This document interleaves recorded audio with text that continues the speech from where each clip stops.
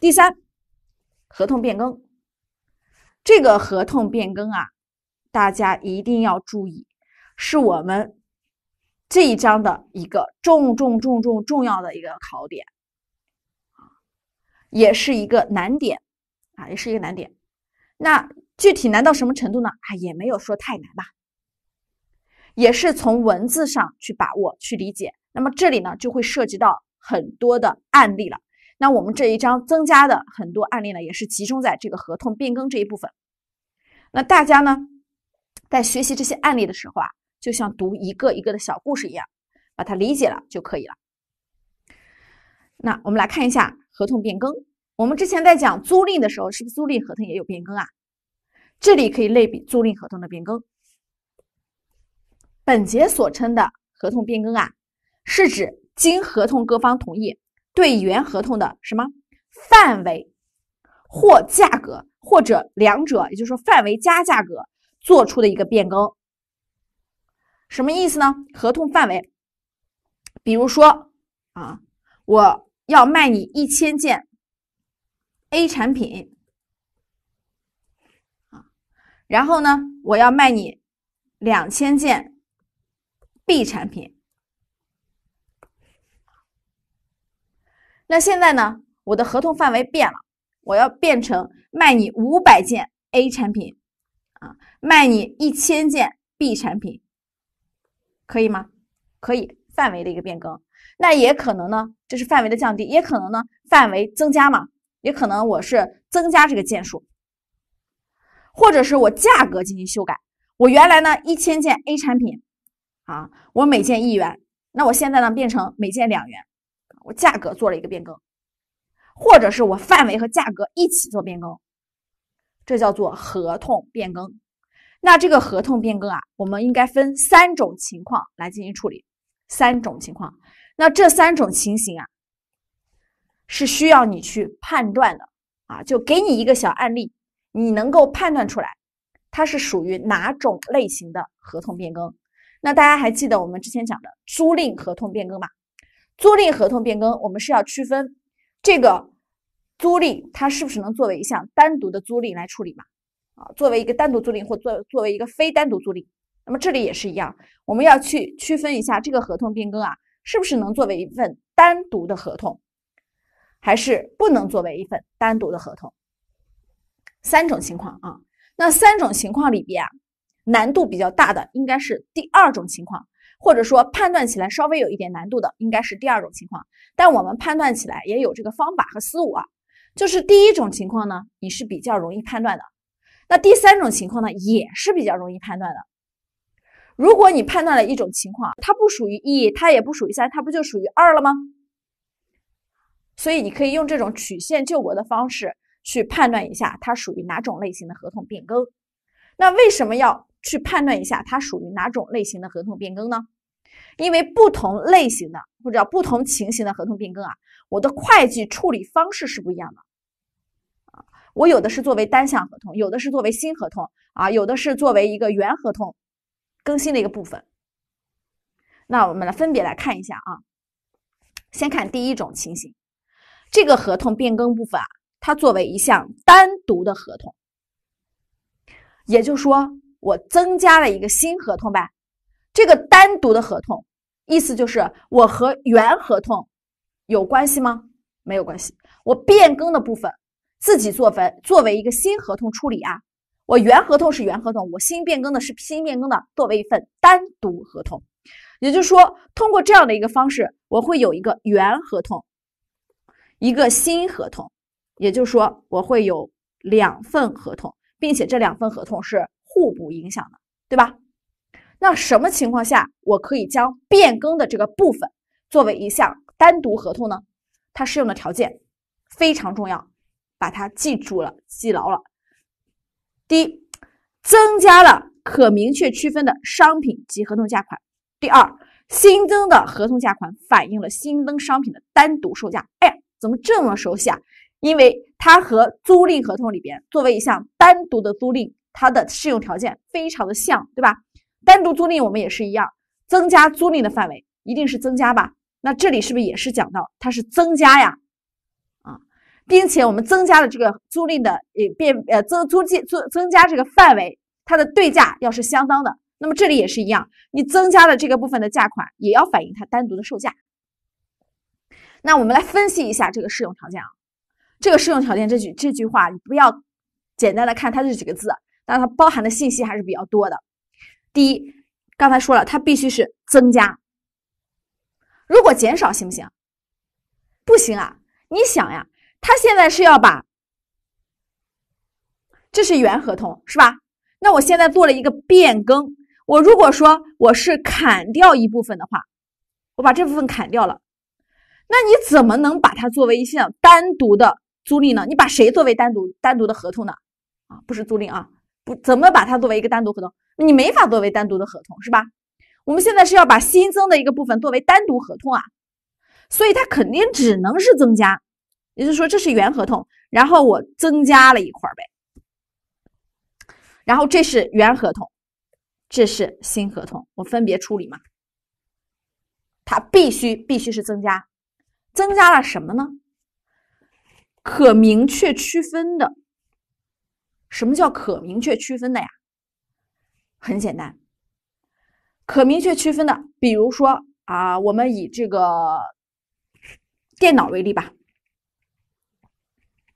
假设我的产品是电脑，我原来的合同呢是订立一百台电脑，那我现在啊又增加了一个五十台电脑的一个订单，那我每台电脑是可区分吗？是啊，是明确可以区分的。那能不能举一个不可明确区分的例子啊？可以啊，我后我们教材后边也有一个案例是不可区分的。最典型的一个不可区分的案例呢，就是这样的。比如说，我这个企业和客户之间，我订立一个合同，这个合同啊是去修一个建筑物，比如说给他修一个厂房、修一个办公大楼。然后我做了一个什么样的合同变更呢？我把这个屋顶修了一下我原来的这个屋顶啊有一种设计啊，那么现在把这个屋顶呢，它的设计改了啊，修改了这个屋顶。那你想想。你变更的这一部分修改的这个屋顶和你的这个建筑物原这个建筑物能分开吗？不能啊，就说我新增的这个变更部分和我的原合同是没有办法区分的啊，这个商品是没有办法区分的。那基本上基本上我们举的啊不可区分的一个情形啊，都是在一栋建筑物上做一些修改啊，做一些零星的修改。这叫做不可区分，但一般情况下啊，商品都是可以区分的。比如说我的这个电脑啊，是不是每台电脑都可以区分呢？啊，电梯可以区分，机器设备也可以区分，啊，基本上商品都是可以区分的。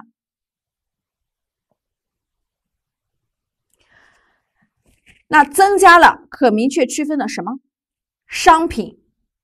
及这个字啊。用的是及，也就是说，我必须要增加商品和这个合同价款吧？我只增加商品，不增加合同价款，行吗？不行。我只增加合同价款，不增加商品，行吗？也不行。必须是商品和合同价款一起增加吧？什么意思呢？比如说，我原来订一百台电脑啊，我现在做了一个变更，假设我是增加。五十台电脑，这是增加吧？是可明确区分吧？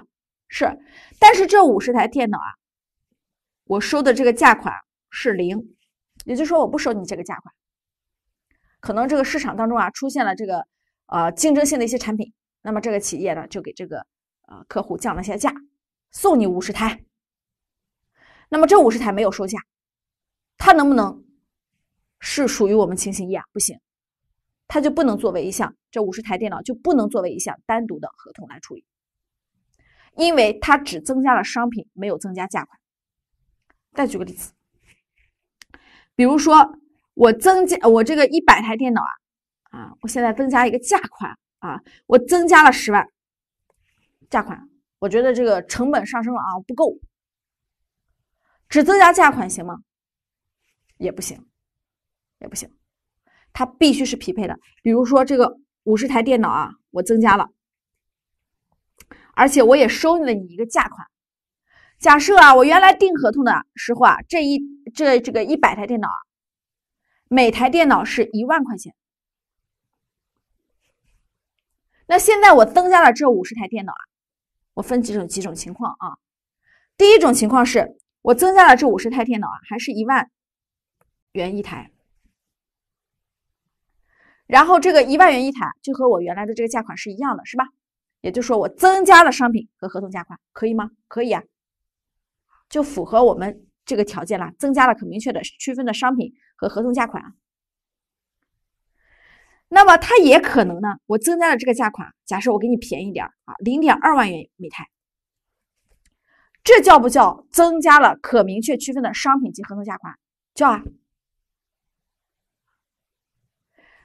这两种情况都叫做增加了商品及合同价款，但是它能不能作为一项单独的合同来处理？不一定，因为它要，它还要满足后边一个条件，因为这个字用的是且，就是后边这个条件也要满足。什么条件？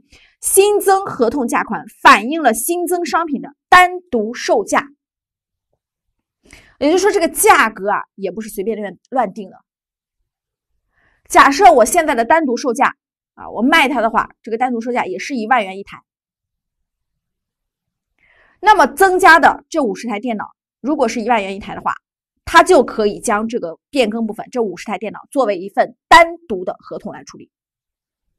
那这零点二万元每台的价格太低了，它没有反映这个新增的商品五十台电脑它的单独售价，所以它就不能够作为一份单独的合同来进行处理。这个能明白吧？那有没有这种情况啊？就这五十台电脑，我在变更的时候，因为这个一百台电脑啊，我是合同开始日签订的嘛。那这五十台电脑，我可能是合同已经过去很长时间了，开始日之后一定一定时间了。那现在这五十台电脑，可能我市价只有零点八万元每台。那我现在增加了这五十台电脑，我定为零点八万元一台，可以吗？它和我们合同开始日这个一万元一台价格不一样，可以，它只要你注意，只要能够反映新增商品的单独售价，它都是可以作为合同变更啊，这个作为一份单独的合同来处理的。也就是说，我新增的这个部分的单独售价，可以和原来的这个产品单价不一样，可以的。要求就是，只要反映它目前、目前、目前这个状态，合同变更日这个状态，它的单独售价就可以了。那有同学说，老师，你这个就比较难了，我怎么去判断它是不是反映了新增的单独售价呢？题目里都会直接给你说明白，这个价款是不是反映了单独售价，不需要你自己去判断，你只需要知道，如果想要作为一份。单独的合同来处理，它必须要必须要同时满足这些条件就可以了。增加了可明确区分的商品及合同价款，且新增合同价款反映了新增商品单独售价，那么建议大家把这句话背牢了。这是情形一。再来看一下情形三，最后倒计。情形二，情形三，作为原合同的组成部分，在合同变更日重新计算履约进度，并调整当期收入和相应成本。也就是说，它不追溯调整，因为它调整的是当期的收入和相应成本。什么意思呢？我现在新呃新变更了是吧？我变更呢是作为原合同的组成部分，也就是说，我只有原合同。一份合同吧。刚才我们讲的第一种情形是不是两份合同？那现在第三种情况呢？它是只有一份合同，只有一份合同。那什么情况下属于三呢？很好判断，这个合同啊不属于情形一，把一排除了，且在合同变更日已转让的商品与未转让的商品之间不可明确区分，就是我们刚才讲的建筑物修屋顶。改变它的屋顶的这个建筑方式，那么新增的变更这一部分和原合同是不可区分的。这种情况下就是三。三，你要记住一个要点：不可区分，不可明确区分，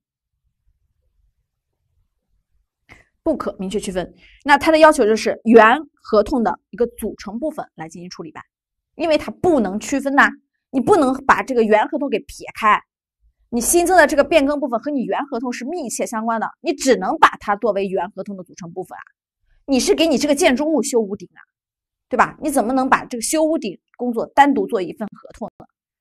奇怪的很。那只能做原合同的组成部分，但因为你修改了这个合同啊，所以你需要在变更日啊重新去计算履约进度。比如说我们修建筑物的话，我们是不是按照我修修的这个进度，我们叫做履约进度？去确认收入啊，啊，那因为你修改了你的条款，所以你履约的进度可能会变化。那履约进度发生了一个变化，那么你收入和成本不也会发生变化吗？所以你要去调整你在变更合同变更当期的一个收入和成本就行了，你不需要去追溯之前啊，你在合并变更之前的一个收入和成本前期的不需要不需要，因为不是差错。不是差错更正，也不是政策变更，所以你不需要去追溯调整哦，你只需要去调整当期、当期、当期它的一个收入和相应成本。待会儿我们会给大家案例展示啊。剩下的就是第二了，这个第二啊，合同不属于情形一，把一排除了，且合同变更日已转让的商品和未转让的商品之间是可以明确区分的。那么这个。其实就是啊，刚才讲的，你排除了情形一和排除了情形三之后，剩下的都是情形二。我们刚才举的这个例子，你增加了这五十台电脑，你没收价格，你增加了一个价款，你增加了这五十台电脑，你收的这个价款比较低，这些全部全部都是属于情形二，全部都是属于情形二。这个情形二如何进行账务处理呢？我是作为原合同终止以及新合同订立来进行处理的。我原来的合同啊，就把它停掉了，新合同成立了。那么应当视为原合同终止，同时将原合同未履行部分与新合同变更部分合并为一个新合同。也就是说，最终我形成了什么？啊，原合同终止，新合同。成立啊，也就是说，我最终会形成一个新合同，将原合同未履约的部分与合同变更部分合并为一个新合同，什么意思呢？比如说啊，我这一百台电脑，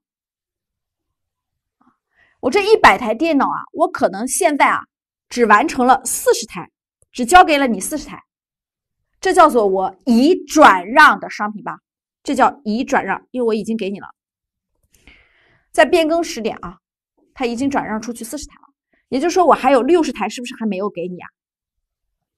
这叫做未转让吧？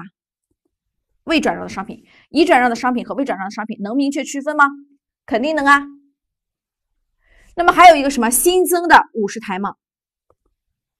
这叫新合同增加的嘛，是吧？新增的。那我现在要把原合同终止，原来这一百台的合同终止掉，将。合同未履约的部分，未履约的是多少？六十台，与合同变更的部分多少？五十台，合并成一个新合同。也就是说，这六十台和五十台，我把它合在一起，再作为一个新合同来处理就可以了。原来未转让的一个商品，加上我现在新更增加的一部分商品，作为一个新合同来进行处理。这个新合同啊，我要确定交易价格啊，因为我后期要确认销售收入呗。那这个新合同的交易价格啊，应当为下列两项金额之和。那肯定两部分嘛，因为它是两部分合在一起的。哪两部分之和啊？一是原合同交易价格中尚未确认收入的这个部分。我这六十台啊，假设我这六十台原来不是一万元一台吗？那么这六十台是不是还有一个？四呃六十万元没有去确认了，再加上我合同变更中客户已承诺的对价金额，那假设这五十五十台电脑，我每台是零点二万元，也就是说我五十乘以零点二是我新合同要确认的一个交易价格嘛？那这六十万加上五十乘以零点二，不就是我整个新合同需要确认的一个交易价格吗？好，那有同学说，老师，我这三种情况有点晕了。我们马上给大家展示 N 个案例。那你注意啊，这些案例还是理解为主，不需要去背诵啊，不需要背诵。那所有的案例其实它的理论知识呢，就是这张表。所以这张表非常重要，我讲的时间也会比较长啊。那么注意有一点啊，再提醒一下大家，它和我们租赁一样，这个情形一啊，如果说这个合同变更的时候，企业由于无需发展新客户等需所需发生的相关销售费用，可能会向客户提供一定的折扣，从而在新增商品单独售价的基础上予以调整。什么意思呢？比如说这一百台电脑啊，是原来的合同。我现在又增加五十台电脑，那这五十台电脑呢？啊，当当下的一个市场价格可能是还是一万元一台，但是我给你呢，我可能是零点八万元一台。为什么？因为你省下的这部分钱啊，是我要去发展新客户可能会发花费的一些销售费用，所以我适当的给了你一点点小折扣。那么这种适当的啊，为了呃节省。发展新客户所发生的一些销售费用的一个折扣，我们是可以允许它存在的啊，它可以是作为单独合同，这个是不是和租赁也是一样的？好，我们来看一下这个例题啊，这个例题是我们情形一的例题，A 公司与客户啊签订合同，每周为客户的办公楼啊提供保洁服务，这种保洁服务啊，你注意，它虽然是一种服务，但是这种服务啊是明确可以区分的。像我买的一台一台的电脑是一样的啊，是可以明确区分的。合同期限呢是三年，这个客户啊每年向 A 公司支付服务费十万元，这个价格反映了合同开始日该项服务的单独售价，这个没什么用。在第二年末，也就是说合同还有几年了？还有一年，合同双方对合同进行了变更。以二十万元的价格将合同期限延长三年，假定这个价格反映了合同变更日这三年服务的单独售价。那我们之前是不是说过了？它有没有反映单独售价？是不是都会告诉你啊？不需要你去判断啊。那每年的服务费是六点六七万元，于每年年初支付，上述价格不包含增值税。那么这个题目它是不是属于情形一啊？那我们就去判断嘛，想一想情形一它的要求增加了，它是不是增加了？是二十万元的价格，将合同期限延长三年。可明确区分的，是不是可明确区分的？是我提供的保洁服务是可以明确区分的。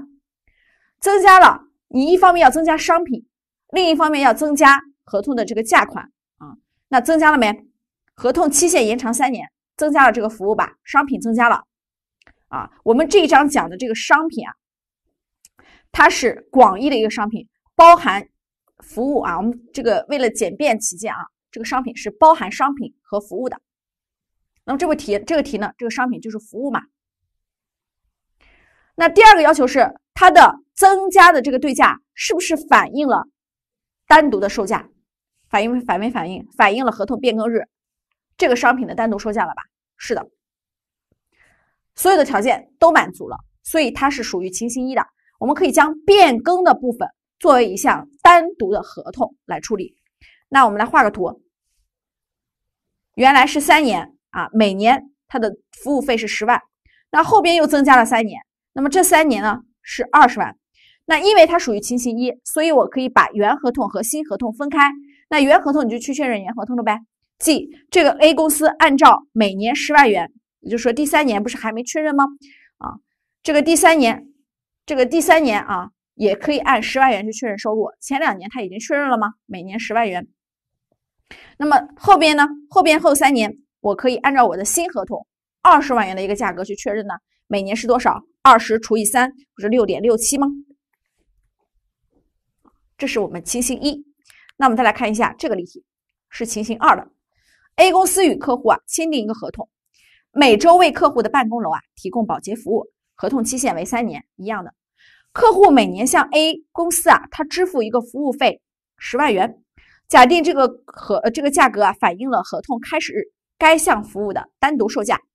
在第二年末，合同双方对合同进行了变更，将第三年的服务费啊，你注意，他现在调整了一个服务费，第三年的服务费调整了八万元。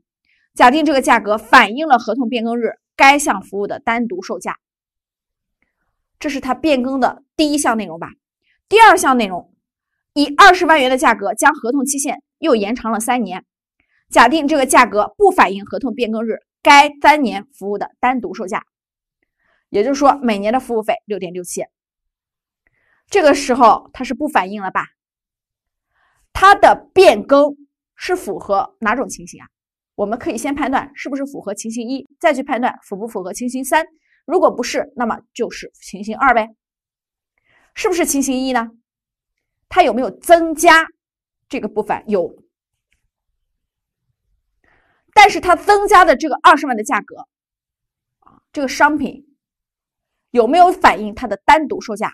不反映，所以它一定不属于情形一。那它现在这个商品保洁服务是不是可以明确区分的？是。所以它不属于情形三，它肯定是情形二啊，情形二。好，我们来看一下这个本例当中啊，在合同开始日，A 公司认为其每周为客户提供的保洁服务是不是可明确区分的？你也可以先判断一下，我提供的这个服务或者是商品，它是不是明确可以区分的？因为不可明确区分的非常简单。就是建筑建筑物修些屋顶嘛，在这个建筑物上做一些动作，它是不能够明确区分的。除了不明确区分的，那不就情形一和情形二吗？所以它肯定是情形一或情形二。但由于 A 公司向客户转让的是一系列实质相同且转让模式相同的可明确区分的服务，因此将其作为一项单独的履约义务。那么这个知识点。是在我们后边学识别单项履约义务的时候会学到的，像这种保洁服务啊，就是一些实质相同啊，我每周都提供嘛，模式也是相同的，而且可以明确区分的一个服务，我们可以把它一呃合在一起作为一项履约义务，你不需要每周去确认他的收入。那么在合同开始的前两年啊，合同变更之前，A 公司每年都可以确认收入十万元吧，这个没问题。那么在合同变更日啊，由于新增的三年保洁服务的价格，它不能反映该项服务在合同变更时的单独售价，是不是？它题目里直接告诉你了，所以这个合同变更啊，它不能作为单独的合同处理吧？也就是说，不属于情形一嘛。由于在剩余合同期间需提供的服务与已提供的服务。是不是可以明确区分啊？这不就是我们讲的情形二，已转让的这个部分和未转让的这个部分都是可以明确区分的啊。那么 A 公司呢，应当将这个合同啊原合同终止，新合同成立吗？原呃这个合同变更啊，作为原合同终止，同时将原合同当中未履约的部分与合同变更作为一项新的合同进行会计处理。新合同期限为四年，为什么？因为我是在第二年年末发生了一个变更，我原合同是不是还剩一年？然后我又增加了三年嘛？那么一共新增的这个新合同是不是四年啊？那我现在要确定一下这个新合同的交易价格吧。我不确定交易价格，怎么去确认收入啊？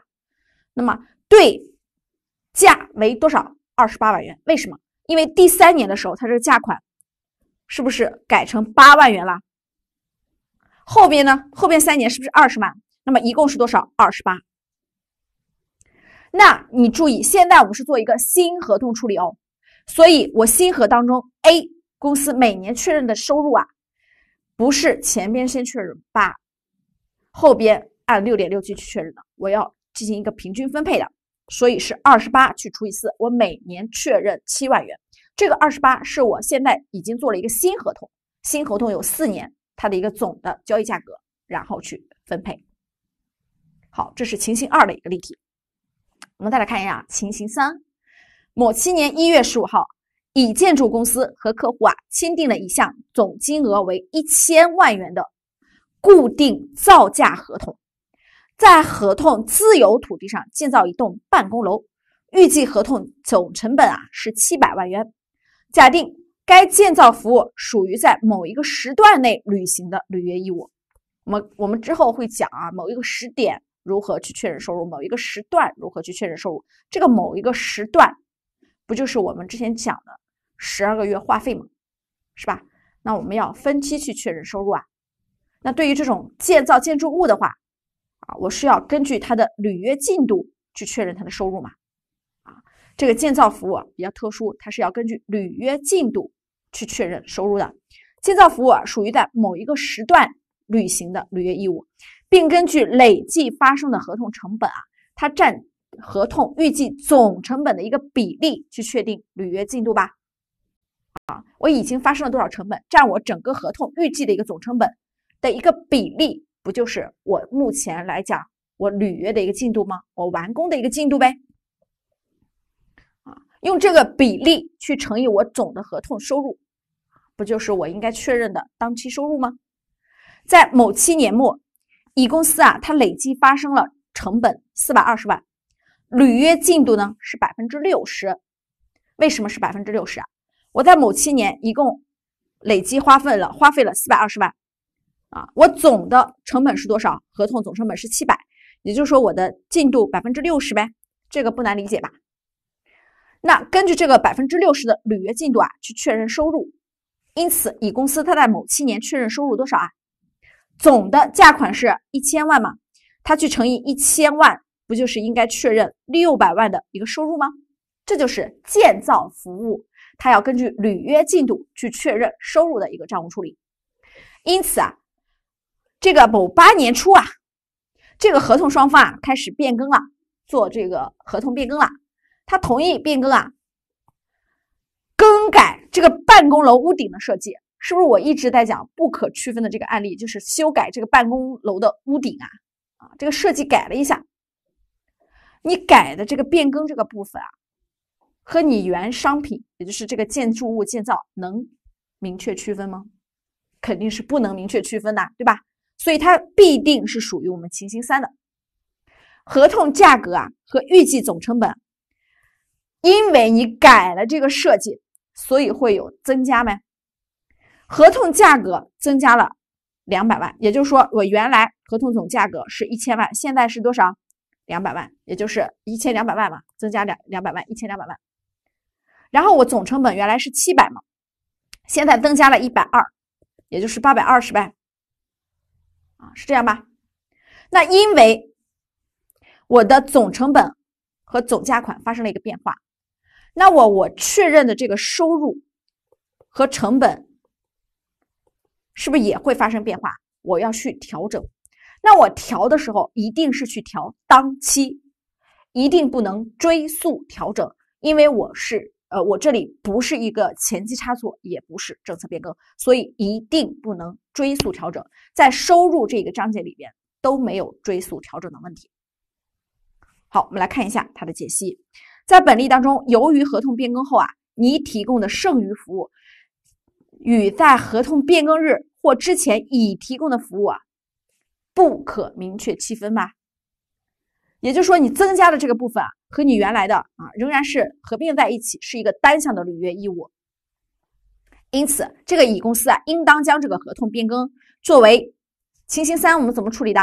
作为原合同的组成部分，你和原合同分不开，所以你只能作为原合同的一个附属的组成部分，继续进行会计处理嘛？那合同变更之后，它的交易价格是刚才算出来了一千两百万，重新估计的履约进度是不是也要换啊？是多少了？一共花了四百二十万，去除以我们现在改了七百万加上一百二十万的一个总成本，也就是说它的履约进度是五十一点二吗？去乘以你修改后的总的交易价格一千两百万啊，那么算出来你在合同变更日啊应该确认的收入是多少？那你确认的这个收入啊，和你原来确认的这个收入进行一个比较，你发现呢，你需要额外再增加一部分收入嘛？你少确认了，少确认了多少？这个数减去你原来确认的六百嘛，会这个相应的要增加十四点四万的这个额外收入。那你增加就行了。那你增加的时候就增加增加某八年初就行了，增加当期当期啊，合同变更日这个期间，那不属于会计差错，也不属于政策变更，不需要追溯调整之前的。好，那么这是情形三的一个案例。